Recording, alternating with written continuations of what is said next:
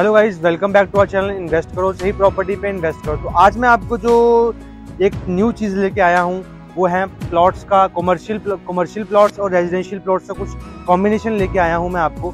और अगर इसकी लोकेशन की बात की जाए तो लोकेशन ही रहने वाली है हमारी पी आर सेवन रोड है एयरपोर्ट रोड है, उससे 300 मीटर की दूरी पे ये रहने वाला है।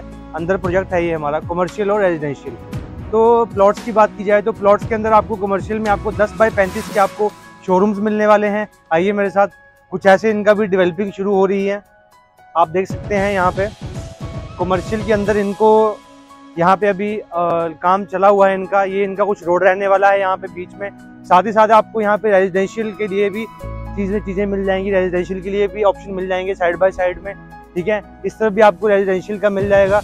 एंड इनकी जो कमर्शियल शोरूम की जो एक कोस्ट है कमर्शियल शोरूम की जो एक कोस्ट रहने वाली है वो है हमारी पैंतीस लाख की कोस्ट रहने वाली है, जिसमें सिर्फ़ ये आपको अपनी सिर्फ़ लैंड ही देंगे, अपनी कमर्शियल लैंड देंगे, ना कि वो आपको उसके ऊपर कंस्ट्रक्शन और बिल्डिंग का काम आपका रहने वाला है, जिसमें आप अपनी बेसमेंट या अपना ऊपर का पार्ट बना सकते हैं। और एक सबसे बड़ी मैं मेन बात आपको बताता हूँ कि जो ये यहाँ की जो टाउनशिप है, उसके जो ऑनर हैं, जो यहाँ की टाउनशिप की जो ऑनर हैं, वो हैं हमारे जो गर्ग जी हैं और अग्रवाल जी जिनका मारविला ग्रैंड है मोहाली में, उन्हीं की ऑनरशिप है ये। तो फ्रॉड का तो कोई चांस ही नहीं बनता है कि अगर आपके पैसे कहीं स्टक हो जाएँ। और अप्रूवल्स की बात की जाए तो अप्रूवल्स भी इसमें प्रॉपर अप्रूवल्स रहने वाली हैं। आपकी कमाडा और रेरा अप्रूव ये प्रोजेक्ट रहने वाला है। बिल्कुल नीट नीट एंड प्योर आपका प्रोजेक्ट रहने वाला है। एंड अगर रोड की बात की जाए तो रोड साठ फीट के रोड रहने वाले हैं। जब आप टाउनशिप के अंदर आएँगे तो आपको सौ फीट का रोड मिल जाएगा। अभी वर्किंग भी शुरू हो रही है साथ ही साथ में। ठीक है?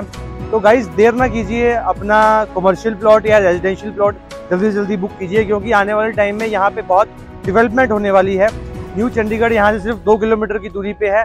सनी इनक्लेव यहाँ से थोड़ा सा डेढ़ किलोमीटर पीछे है और ये एयरपोर्ट रोड रहने वाला है। और अगर चंडीगढ़ की बात की जाए तो ये पाँच से दस मिनट की ड्राइव पे आपका चंडीगढ़ रहने वाला है।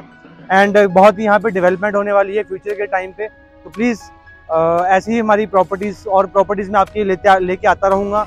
नई नई वीडियोस लेके आता रहूँगा। हमारे जाने से पहले नीचे लाइक का बटन ज़रूर दबा दीजिए और शेयर ज़रूर कीजिए हमारी वीडियो को ताकि भूलिएगा। मिलते हैं किसी नई वीडियो में। तब तक के लिए सबको नमस्कार।